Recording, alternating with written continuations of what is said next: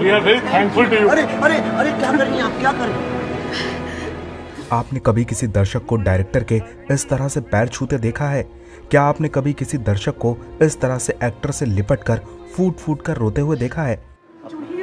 मुझे लगा आपके पैर छू आपने हमारा दर्द आपने हमारा दिल जो वो औरत ने किया वो हमने सबने देखा वो हम सबने देखा मुझे लगा मुझे कुछ हो जाएगा।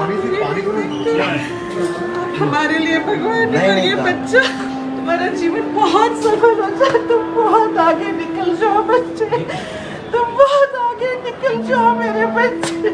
बहुत आगे निकल जाओ। तुम मेरा आशीर्वाद हो मेरा बेटा। इन आंसुओं को देखकर किसका दिल नहीं फट गया होगा? ये बत्तीस साल पुराना वो दर्द है जिसका जख्म आज तक हरा है। ये महिला द कश्मीर फाइल्स देखकर अपने आंसुओं को नहीं रोक पाई।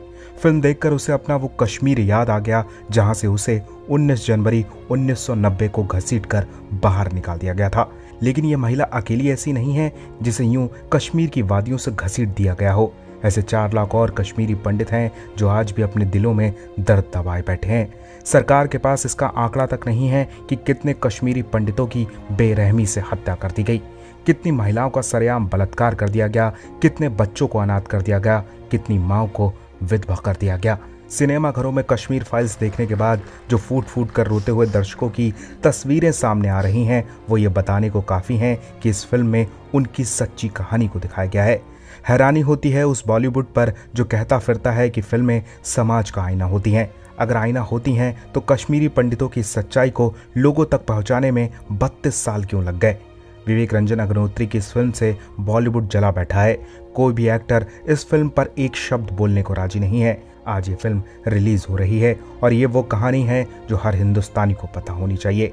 उन्हें ये पता होना चाहिए कि 32 साल पहले कैसे कश्मीर में नरसंहार हुआ था। उन्हें पता होना चाहिए कि कश्मीर में आतंकवाद क्यों फैल गया है। उन्हें ये भी पता होना चाहिए कि कैसे उनके नेताओं ने कश्मीरी पंडितों का कत्ल होने दिया।